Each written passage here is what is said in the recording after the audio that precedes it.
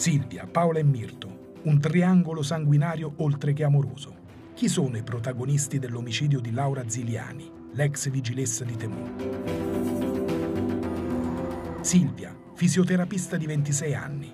Paola, studentessa universitaria di 19. Insieme avrebbero prima narcotizzato e poi soffocato la propria madre. E Mirto Milani?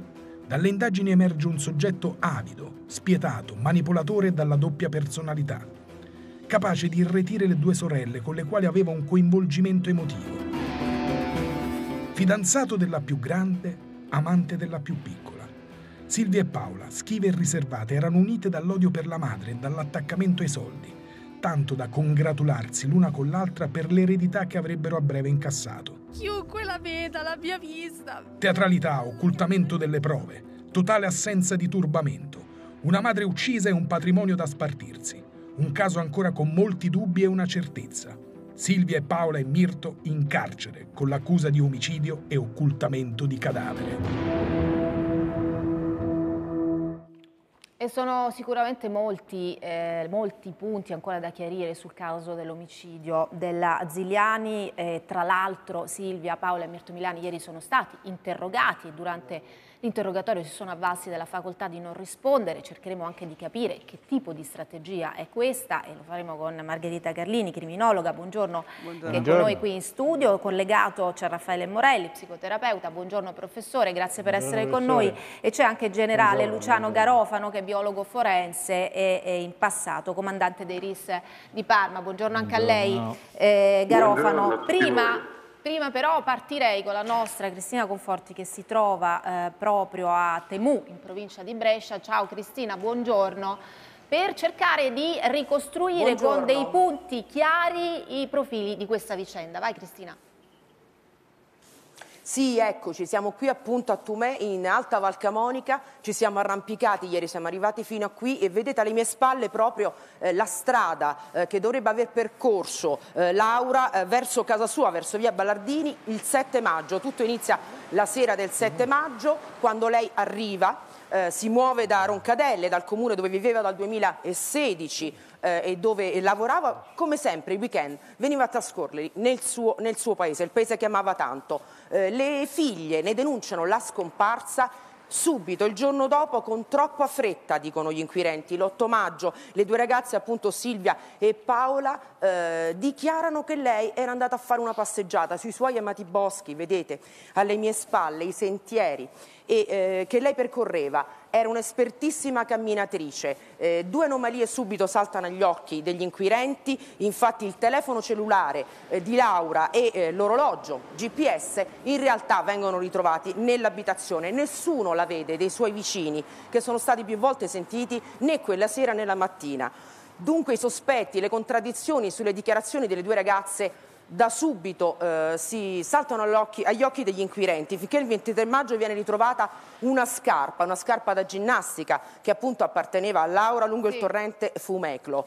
Eh, dunque in una zona completamente diversa da quella che era stata indicata sì. dalle figlie eh, che dicevano che lei si fosse mossa a monte verso Villa d'Alegno mm. e da lì praticamente i tre, il, questo triangolo eh, micidiale viene comunque individuato le due ragazze con Mirto Milani, il fidanzato di una delle due sì. e dunque vengono indagati dal GIP eh, Katie Bressanelli per omicidio e occultamento di cadavere. Troppe le incongruenze. La task force si era mossa subito per le ricerche, si trovava vicino al cimitero e ci hanno detto eh, la, la, cosa particolare è che loro non partecipavano, non erano presenti, non davano un aiuto. Vedremo, Vivevano vedremo, un po' in un loro mondo, mentre i perché... cittadini andavano a fare le ricerche per cercare la loro mamma. Grazie, grazie anche perché grazie, grazie a Giordano Verardi, prima abbiamo visto no, la, i profili delle tre, delle tre persone sì. coinvolte in questo omicidio. Dobbiamo solo ricordare, Marco, che il corpo di, eh, la, della Ziliani è stato ritrovato l'8 agosto, se non sbaglio, sì, quindi sì. a distanza di tre mesi. tre mesi. Sentiamo subito la dottoressa Carlini. Allora, il trio eh, micidiale, come diceva la Conforti, eh, sono in carcere con un'accusa pesantissima, omicidio volontario aggravato, occultamento di cadavere, come era scontato, si sono avvalsi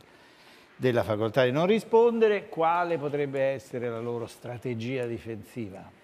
Ma eh, che si avvalessero di questa facoltà era presumibile. Teniamo in considerazione che vengono accusati di un'azione omicidiaria assolutamente caratterizzata da un livello di premeditazione altissimo in tutte le fasi, sia nelle fasi che hanno eh, anticipato questo delitto, pensiamo all'ipotesi eh, di un tentativo di intossicazione di, mh, da parte appunto eh, delle figlie e eh, sia nelle fasi proprio di commissione del, del, delitto che in quelle poi successive di occultamento del cadavere. Quindi che loro adottassero questa strategia era prevedibile perché credo che ci sia una volontà di non cadere in contraddizione, di non mm. rilevare, rivelare degli elementi che potrebbero far caderle in contraddizione. È chiaro che ciò che regge tutto quanto è proprio la dinamica di relazione che unisce questi tre componenti e eh, rendere dichiarazioni potrebbe, finché questa dinamica reggerà, che è una dinamica che fonda sulla manipolazione profonda che è stata ipoteticamente eh, messa in atto, è chiaro che questo un pochino li preserva sì, dal cadere zitti, sì, esatto, in contraddizione. Beh, non c'è dubbio che la dinamica, professor Morelli, come dice Margherita Carlini, eh, insomma, chiarirà anche molto. Certo che quello che sappiamo eh, o che forse ancora non sappiamo no, di Mirto, eh, il fidanzato eh, del, eh, della più grande ma amante della sorella più piccola. Insomma è davvero un triangolo eh, complicato, anche un po' inquietante. È molto inquietante perché vede, quando si parla della banalità del male, qui lo vediamo tutto intero lei pensi che per poter commettere un omicidio di questa portata bisogna provare dentro di sé un gelo per cui la mamma non è più la mamma ma un nemico e bisogna trovare qualcuno che ti dia lo spessore di una forza che ti arriverà quando avrai eliminato il nemico. La mamma è il nemico da battere, un gelo che sovrasta tutta la componente psichica. No? Come psichiatra mi è capitato di vedere dei giovani provare questa sensazione, ma perché si arrivi poi ad una conclusione così tragica, bisogna che ci sia qualcun altro, uno o due persone, non sappiamo, una in particolare, il quale ti faccia vedere il tuo futuro, il tuo destino, quanto migliorerà, quanto tu sarai un eroe per tutto questo. Vedi che eh, adesso avrò la macchina nuova, eh, la recita, proprio perché c'è un gelo interiore si può recitare si può piangere, fare, fare le attrici, no? È proprio questo, e, proprio e questo. questo ci deve... Ci deve Proprio sì. questo, professore, quello che ha fatto molto scalpore tra, tra, i depistaggi, proprio questa recita in televisione delle due, delle due sorelle con pianti e strepiti. Vediamo questa clip. chiunque la veda, l'abbia vista, venga alla casa del, so del soccorso alpino a Temu e dia informazioni perché qualunque cosa potrebbe aiutarci a trovarla, potrebbe essere la cosa che serve a trovarla. Vi prego. Sì, qualunque, qualunque, segnalazione abbiate, anche soltanto se l'avete vista in striscio, per favore ditecelo, perché potrebbe davvero servire pochissimo per indirizzare la ricerca giusta. Beh, sicuramente è come dire, un appello colpisce, piuttosto eh? sì, che colpisce molto. Tra l'altro, dottor Garofano, non c'è stato solo questo come insomma, presunto depistaggio, ma anche c'è un altro elemento, cioè quella torta preparata eh, il giorno eh, della scomparsa, no? mm, che in qualche modo poteva significare, ma noi siamo tranquilli, non, non ne sappiamo nulla, no? questo potrebbe essere fo al fondo dell'azione. Ma come mai ci è voluto, dal suo punto di vista, così tanto tempo per arrivare all'arresto di queste tre persone? Allora, io credo che questa sia un'indagine che è stata eh, effettuata con grande eh, tempestività e con grande professionalità. Eh, e devo dire che non è così scontato, perché una delle cose più importanti, e qui è stato fatto, è procedere all'autopsia psicologica della vittima. Era una vittima allora di scomparsa, però entrare nelle dinamiche familiari, cominciare a capire quale fosse il movente, partire dalle caratteristiche della denuncia per estrarre da quella denuncia degli elementi di contraddizione, poi è servito per cominciare ad approfondire tutti quegli aspetti, i telefoni, i movimenti, anche le contraddizioni e le anomalie che voi avete segnalato nel servizio e che riguardavano sia il telefonino sia l'orologio GPS hanno portato poi a costellare un quadro di indizi. È chiaro che un pubblico ministero prima di richiedere una eh, misura di custodia sì. cautelare ha bisogno di prove e la prova è venuta dall'autopsia e dagli esami tossicologici perché a quel punto, oltre alle anomalie emerse anche dal ritrovamento un po' ambiguo di quel corpo, delle scarpe precedentemente e così via, ha dato come dire, quella certezza oggettiva che la scienza sempre eh, attribuisce e, e, dà a delle indagini che come in questo caso in, fino a quel momento erano solamente indiziarie. Comunque una cosa è chiara che in una piccola comunità come quella di Temu un fatto del genere sta sconvolgendo certo. no? il clima del paese, i rapporti, le famiglie, eccetera. Allora la nostra Cristina Conforti che è l'inviata a Temu, è, è, ha raggiunto il sindaco, vero Cristina? Eccolo, Giuseppe Pasina, sindaco di Temu. Sì, sono con Giuseppe Vai Cristina. Esatto, la sua comunità me lo raccontava anche ieri sera, è davvero turbata, chiedono ovviamente giustizia e verità, sono turbati, vero i suoi concittadini sindaco, molto da questa storia. Sì, questa storia ci ha turbato molto e in particolar modo la nostra comunità. Eh, su quella posizione che si augura che venga chiuso questo caso perché dolorosamente deve essere chiuso in un modo veloce perché non si può continuare sempre nel sospetto e quindi... Lei diceva addirittura vorrebbe costituirsi come parte civile. Ma stiamo valutando anche questa posizione perché effettivamente è una situazione che va avanti da quattro mesi, bene o male qualche sospetto c'è. Senta, ma lei conosceva Laura da tanti anni, aveva lavorato in comune, la sua amica, le sue amiche le avevano confidato che Laura temesse qualcosa da parte delle figlie?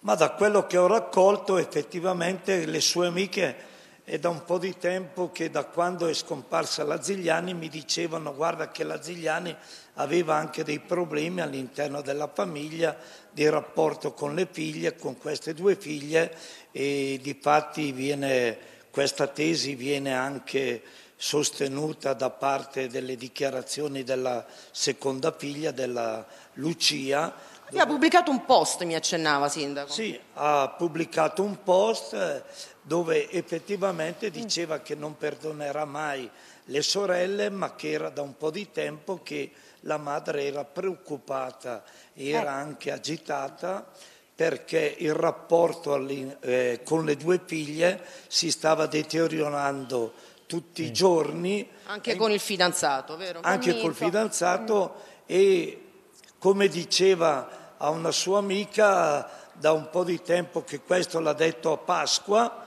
eh, aveva in mente sì di fare le divisioni eh, della proprietà, ma non riusciva a trovare un accordo perché le figlie insistevano che volevano tutto loro e a descapito sia di lei personalmente perché lei voleva tenersi sì. la mansarda per essere certa. C'erano di contrasti insomma anche sì. sulle proprietà. Allora... C'erano dei contrasti sulle proprietà e sulla parte economica, secondo me è quella che ha determinato questa posizione. Allora, questa proprio tragedia. su questo, grazie, grazie Cristina, sindaco. grazie naturalmente al sindaco che ci ha dato degli elementi su cui ragionare proprio in relazione alla questione economica. Ci sentiamo l'intercettazione di eh, Mirto che, che parla proprio della condizione economica della suocera. Alla fine le volevo bene, ma la situazione è disastrosa. Spendeva più di quanto prendeva. Magari nel tempo ha dirottato i soldi su un altro conto e adesso si sta facendo la bella vita da qualche parte. Andava in giro con la macchina da 50.000 euro, si faceva gli aperitivi a pranzo, a cena, andava al cinema, faceva un sacco di cose, si comprava una tonnellata di scarpe, di vestiti. La situazione è disastrosa. Lei spendeva più di quello che prendeva. Dottoressa Carlini, è un omicidio che matura per, in famiglia per ragioni di soldi, di interesse, non è certamente il primo caso, ne abbiamo visti no. tanti, da Pietro Maso in poi, insomma, esatto. voglio dire, no? Esatto, sì, in realtà come diceva giustamente il professor Morelli Noi che lavoriamo in questo contesto sappiamo quanto la famiglia, il contesto appunto familiare sia eh, in qualche modo quello in cui vengono agite, maturate le emozioni in maniera più forte, sia in senso negativo che in senso positivo. positivo certo. E molto spesso alla base di questi delitti, che sono assolutamente atroci e inconcepibili, eh, però ci sono dei momenti assolutamente banali, appunto il professor Morelli parlava prima della banalità del male, ecco, noi che lavoriamo in questo contesto sappiamo quanto alla base anche dei crimini più efferati a volte vi siano delle motivazioni eh, assolutamente eh, non, eh, che non giustificano, nulla giustifica, ma come in questo caso eh, poi è chiaro, sembra proprio che si stia eh, definendo un quadro che andava un pochino a porre una pressione no? che io credo che sia sì. stato un po' il fattore scatenante di questo delitto, cioè la volontà della Ziliani di definire le quote sì. economiche, le posizioni e la paura da parte dei tre indagati che la sorella per la sorella potesse essere nominato un tutore. Questo ovviamente avrebbe evitato loro di poter disporre autonomamente di, di tutto il bene economico della famiglia. Una dinamica in cui vi si rintraccia la banalità del mare, professor Morelli, del male, che però aggancia contemporaneamente tre persone due componenti di una stessa famiglia, sì, che sono le figlie di questa donna uccisa e un eh elemento sì. esterno.